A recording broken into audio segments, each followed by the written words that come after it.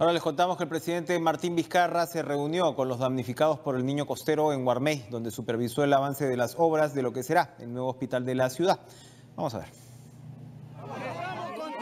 Cumplió una jornada de trabajo en la provincia de Guarmey, en Ancash, una de las zonas afectadas por el fenómeno del niño costero.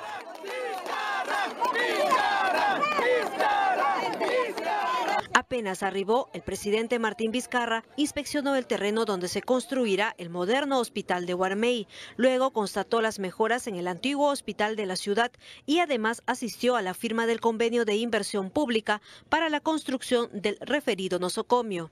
El año 2020 nos comprometemos a entregar al pueblo de Guarmey el hospital completamente nuevo, construido en este terreno que lo hemos ido a inspeccionar el día de hoy.